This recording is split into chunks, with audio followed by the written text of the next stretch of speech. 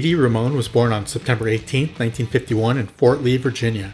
His birth name was Douglas Glenn Colvin. He is known for being the bass player and founding member of the Ramones. He's the one who would shout out, one, two, three, four, before their songs. He wrote or helped write most of their songs. He started out as a singer, but he couldn't handle singing for a whole show. He was in the band from 1974 to 1989. They were inducted into the Rock and Roll Hall of Fame in 2002. He famously thanked only himself during his speech. He started using drugs as a teenager and was addicted to heroin most of his adult life. It was his idea to adopt the last name of Ramone for the band. After leaving the band, he became a rapper and went by the name of Dee Dee King. It was horribly awesome. He continued to play music until his death. He was married twice and had no children. In June of 2002, Dee Dee overdosed on heroin and died. He was 50 years old.